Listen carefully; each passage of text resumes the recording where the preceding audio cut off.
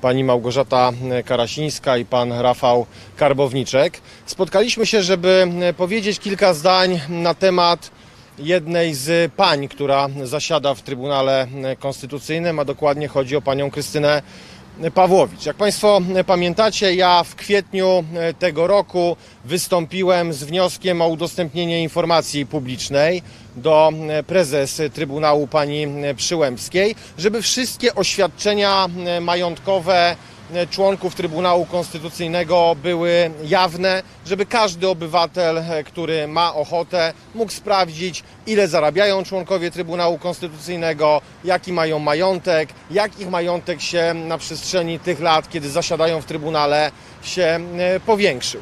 Wydaje się rzecz dość oczywista, bo zawsze uznawałem i zawsze będę uznawał, że osoby, które są opłacane z publicznych pieniędzy, powinny być transparentne, przejrzyste i nie powinny mieć nic do ukrycia.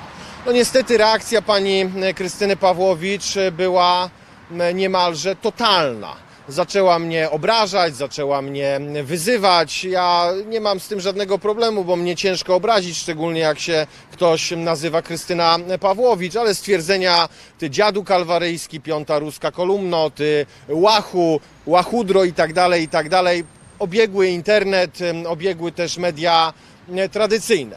Ja wtedy po rozmowie ze swoimi współpracownikami postanowiłem, że tej sprawy nie odpuszczę. Nie odpuszczę dlatego, że nie jestem jedyną osobą, którą pani Krystyna Pawłowicz w taki sposób obraża. Takich osób jest bardzo dużo i możecie Państwo to zaobserwować każdego dnia w mediach społecznościowych. Każdy, kto ma inne zdanie niż pani Pawłowicz, jest nastawiony na bardzo ostrą, niecenzuralną krytykę.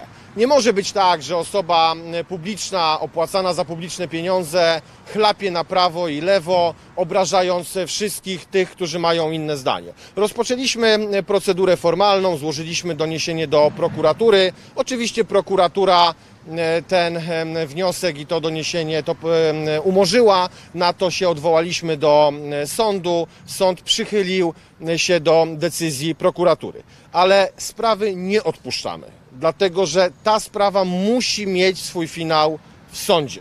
Ja nigdy nie pozwolę i zawsze będę o to walczył, żeby język w debacie publicznej był ostry, był zdecydowany, ale nie był obraźliwy i nie był pogardliwy dla drugiego człowieka. Chcę powiedzieć bardzo wyraźnie: to nie chodzi o epitety pod moim adresem. To chodzi o to, żeby pokazać obywatelom naszego kraju, że nie ma na to przyzwolenia. I ja zdaję sobie sprawę, że pewnie obrażony Jan Kowalski czy Andrzej Nowak mogą temat odpuścić, bo może im się nie chcieć, mogą nie mieć siły, mogą nie mieć zdrowia, mogą nie mieć determinacji do tego, ale ja takową determinację mam. Dlatego wraz z moimi pełnomocnikami złożyliśmy prywatny akt oskarżenia przeciwko pani Krystynie Pawłowicz z, pełnym, z pełną dokumentacją i z pełnym uzasadnieniem i złożyliśmy jeszcze jeden wniosek. To najprawdopodobniej jest pierwszy tego typu wniosek, który tyczy się sędziego Trybunału Konstytucyjnego. Złożyliśmy wniosek na ręce pani prezes Przyłębskiej o uchylenie immunitetu sędziego pani Krystynie Pawłowicz. Mówię dzisiaj jednoznacznie dość. Dość dla tego chamstwa, aroganctwa, tej buty w wykonaniu koleżanki pana Jarosława Kaczyńskiego. To, że jest się znajomym pana Kaczyńskiego, to, że było się w Prawie i Sprawiedliwości, nikogo nie upoważnia do takich słów, do takich obelg pod adresem jakiejkolwiek osoby. Nie ma świętych krów. Nie ma świętych krów nawet w zagrodzie Jarosława Kaczyńskiego. Doprowadzimy tę sprawę do końca, a teraz pan mecenas parę zdań od strony formalnej, jak to będzie dalej wyglądało. Dzień dobry. Przesuń się na środek. Dzień dobry. Rafał Karbowniczek, adwokat. E, Tutaj w imieniu pana posła Treli skierowaliśmy do sądu, mm, jednego z sądów rejonowych w Warszawie prywatny akt oskarżenia, o którym pan poseł przed chwilą mm, napomknął. Mm, Ten prywatny akt oskarżenia dotyczy przestępstw e, takich jak zniesławienie i zniewaga. Natomiast żeby ten prywatny oskarżenia mógł być procedowany dalej, e, byliśmy zobowiązani złożyć wniosek o uchylenie immunitetu pani mm, sędzi Krystynie Pawłowicz, co uczyniliśmy dzisiaj. E, Wniosek taki kiero- skierowaliśmy do pani prezes Julii Przyłębskiej. Mm, Pani prezes powinna e, przekazać pod e, rozstrzygnięcie ten, wnio- ten wniosek e, Zgromadzeniu Ogólnemu sędziom Trybunału Konstytucyjnego, co powinno nastąpić w przeciągu miesiąca. Tutaj Trybunał podej- podejmuje mm, decyzję większością bezwzględną, przy czym w naradzie i w głosowaniu nie uczestniczy pani Krystyna Pawłowicz jako sędzia, której ten wniosek bezpośrednio dotyczy. Działanie, które podjęliśmy było tak naprawdę na chwilę obecną jedynym dostępnym działaniem z naszej perspektywy, ponieważ, e, tak jak tutaj pan poseł napomknął, mm, e, zawiadomienie o podejrzeniu popełnienia przestępstwa, mm, które obejmowało zniesławienie funkcjonariusza publicznego, ścigane z oskarżenia publicznego, nie spotkało się z aprobatą prokuratury. E, Zaskarżyliśmy to zażaleniem do sądu, natomiast no, sąd utrzymał decyzję prokuratury w mocy. Mamy pewien niedosyt informacyjny, ponieważ uzasadnienie, które zostało przedstawione, nie pozwala na prześledzenie procesu decyzyjnego myślowego sądu. Sąd ograniczył się de facto do mm, blankietowego, ogólnikowego zatwierdzenia decyzji prokuratury w mej zasady tak, bo tak. Stąd na chwilę obecną liczymy, że e, wniosek, który dzisiaj złożyliśmy, zostanie pozytywnie przeprocedowany, a to dlatego, żeby móc tą sprawę dalej e, prowadzić przed sądem.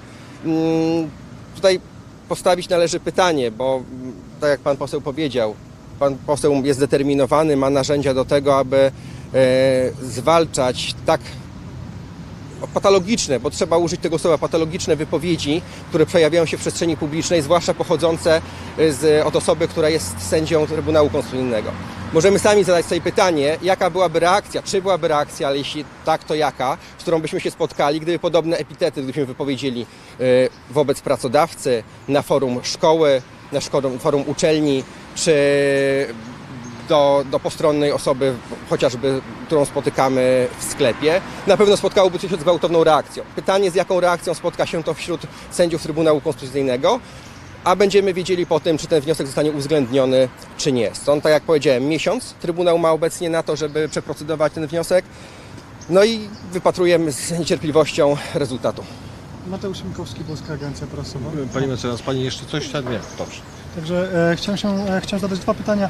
E, pierwsze pytanie to czego dotyczy tak, te, tak dokładnie ten e, prywatny akt oskarżenia, to znaczy e, jakie tam są zarzuty przedstawione z e, Państwa strony. A druga sprawa to czy prezes Trybunału Konstytucyjnego może nie poddać pod głosowanie ten wniosek, innymi słowy schować go do, po prostu do szuflady. Proszę, proszę, proszę. Zacznę od drugiego pytania. E, Nie, prezes Trybunału ma obowiązek przedstawić ten wniosek do przeprocedowania Zgromadzeniu Ogólnemu. Przepis tutaj ustawy, mówimy o ustawie o statusie sędziów Trybunału Konstytucyjnego, jest w tym zakresie jednoznaczny. Tam jest obligatoryjność, nie fakultatywność. E, I co się znajduje w akcie oskarżenia, e, chociaż dwa, trzy zarzuty. Znaczy, y, no, z, z, a to może ja się teraz przesunę tak do środka. Te zarzuty, o których em, powiedziałem, to jest znieważenie funkcjonariusza publicznego, bo przecież e, słowa, które kieruje się do osoby, która pełni swój mandat z wyboru, a parlamentarzyści taki mandat e, pełnią, na zasadzie piąta ruska kolumno w dobie ataku militarnego Rosji na Ukrainę, może dawać wątpliwość e, moim potencjalnym wyborcom obecnym, ale też e, przyszłym. Natomiast ja chcę powiedzieć też bardzo wyraźnie, na, mm, e, czekam na rozstrzygnięcie tej sprawy, bo o tym nie powiedziałem na wstępie. My żądamy zadośćuczynienia w wysokości 20 tysięcy złotych przekazane na Centrum Praw Kobiet w Łodzi dla organizacji pozarządowej, która e, wspiera kobiety i to wspiera kobiety w trudnym czasie i przypomnę, że to nie kto inny jak kolega pani e, Pawłowicz, pan minister Ziobro ograniczył funkcjonowanie między innymi e, takiego centrum. Jeszcze raz chcę bardzo wyraźnie podkreślić, Gdybym e, chciał i gdyby to był incydent e, w wykonaniu pani Pawłowicz, może byśmy ten temat e, odpuścili. Natomiast ta dyskusja w mediach społecznościowych po tym moim żądaniu opublikowania oświadczenia majątkowych była tak daleko idąca. Tam różne inne osoby były obrażone, również też osoby publiczne. Pamiętam, że w tej dyskusji e, uczestniczył również dość odległy mi politycznie pan profesor Leszek Balcerowicz jemu też się oberwało, dlatego że się raczył wypowiedzieć w tej sprawie. Pani Pawłowicz, jak widzi osobę, która ma inny pogląd niż ona, nie umie powiedzieć nie zgadzam się, tylko umie powiedzieć ty łachu, ty dziadu, ty łachudro, e, wąt pod stół i tak dalej, i tak dalej. No nie może być na to przyzwolenia. Ta instytucja zawsze była instytucją, która stała e, na straży e, prawa, na straży sprawiedliwości. Ona została zdeprecjonowana, ona została zdeptana przez ostatnie lata, ale to nie znaczy, że w tej instytucji może obowiązywać rynsztokowy język, jak przed jakąś ustawką na tym czy innym targowisku. Bo pani Pawłowicz zachowuje się tak, jakby była taką kobietą spod budki z piwem, która wypiła za dużo trzy piwa i zaczęła każdego, każdego obrażać. No nie może być na to zgody. Polski podatnik tej pani płaci bardzo grube tysiące każdego miesiąca. Ta pani zarabia setki tysięcy każdego roku. I ona w swojej bezczelności mówi, ja nie pokażę oświadczenia majątkowego, bo co mi zrobicie? No nie może być tak. No nie może. Ja sobie nie wyobrażam, że jako parlamentarzysta mogę wyjść i powiedzieć, nie pokażę swojego oświadczenia majątkowego. To jest po to zrobione i co więcej, ta sama pani Pawłowicz, jak była posłanką na Sejm, głosowała za tym, żeby oświadczenia majątkowe członków Trybunału Konstytucyjnego były jawne. Cóż takiego się stało? Co ona ma w tym oświadczeniu? Jaki ona ma ten majątek? Ile ona ma nieruchomości? Ile ona ma pieniędzy zgromadzonych? Że ona się boi tego pokazać? No to już nasuwa się duża wątpliwość. Dlatego oświadczenie majątkowe to jest jedno, ale ten język, ten taki rynsztokowy język, z tym trzeba raz na zawsze skończyć. Ja tu jeszcze może w uzupełnieniu tego, co powiedział pan poseł, bo było pytanie o przestępstwa, które zostały wskazane w prywatnym akcie oskarżenia. E, To jest przestępstwo zniesławienia stypizowane w artykule 212 kodeksu karnego oraz przestępstwo zniewagi e, objęte artykułem 216, przy czym kwalifikacji z paragrafu drugiego, czyli zniesławienie względnie zniewaga e, za pomocą środków komunikacji masowej. Powiedzmy jeszcze, jaka sankcja za to jest? Jest kara ograniczenia wolności, kara grzywny bądź kara pozbawienia wolności do roku.